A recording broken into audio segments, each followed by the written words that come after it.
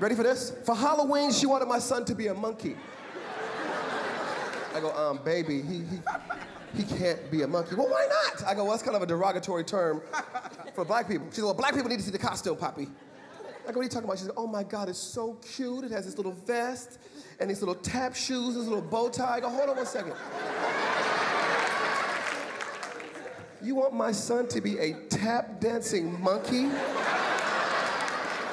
For Halloween? Yeah, I think it'd be so cute. I go, it's not gonna happen. Well, why not? I go, we know my people. Well, your people need to get over it.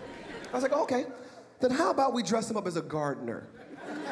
Yeah, why don't we strap a leaf blower to his back? And then when he drops the wrapper, he can blow it down the driveway. How about that?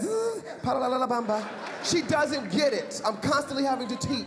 The other day I came home, my son has like a little curly afro. She's brushing it. You can't brush an afro. My son looks like Frederick Douglass every morning going to school.